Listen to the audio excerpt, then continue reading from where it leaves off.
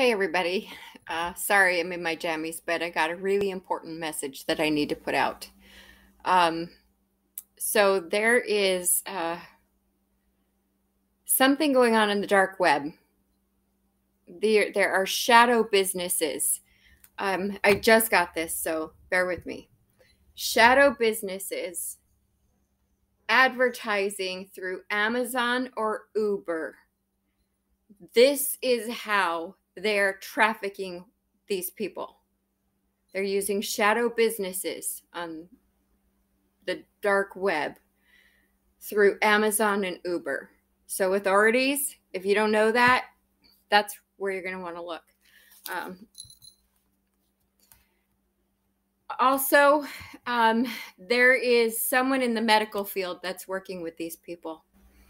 Um, I'm how much they need to be drugged, that kind of stuff, helping them with the um, with that so that they're not actually killing people, but they're giving them enough, but not too much. So there is somebody in the medical field working with these people, and I was told that um, one somebody in that's working with these people in this trafficking stuff has an in-ground pool and there is going to be a natural disaster where a tree is going to fall in or on that pool and completely destroy it.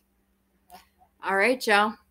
Just remember love each other, love yourselves, and I love you.